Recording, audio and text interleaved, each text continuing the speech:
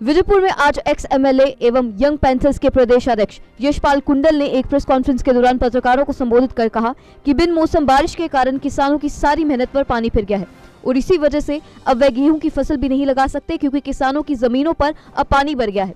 साथ ही उन्होंने ये भी कहा कि कश्मीर के किसानों की सेब की फ़सल खराब होने पर सरकार द्वारा उनकी पाँच हज़ार करोड़ की मदद की गई, लेकिन जम्मू के किसानों को अनदेखा किया जा रहा है। किसानों की विभिन्न परेशानियों को उजागर कर यशपाल ने उपराज्यपाल से डीसी को किसानों के लिए उचित मुआवजा देने के आदेश जारी करने की मांग की।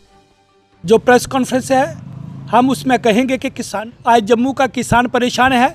आज पैडी की फ़सल जो है बेमौसमी बारिश के कारण वो ख़राब हो चुकी है।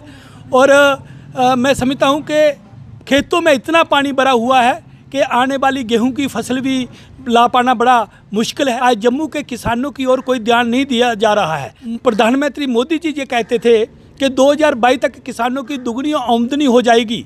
हम पूछना चाहते हैं कि पिछले बार जो बासमती का वो रेट था पैंतालीस सौ रुपया था, अब पैंतीस सौ पच्चीस सौ रुपया आ गया है।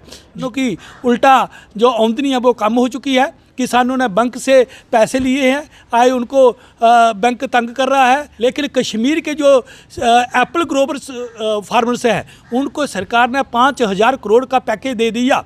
आज जम्मू के किसानों की ओर देखने वाला कोई नहीं है। गवर्नर महोदय से अपील करते हैं कि किसानों के खेतों में जाकर उनका मुआवजा बनाया जाए और उनको उचित मुआवजा जल्दी से जल्दी दिया जाए। अगर ऐसा नहीं होता तो पैंथर पार्टी किसानों के साथ मिलकर संघर्ष करेगी। JK Update is fastest growing media house in J&K with 1.5 crore monthly views. JK Update is a best platform for advertise your brands and services. If you want to advertise your products and services, please contact us on this number. Mr. Sushil Sharma 7051091. JK Update. Update रहें हमारे साथ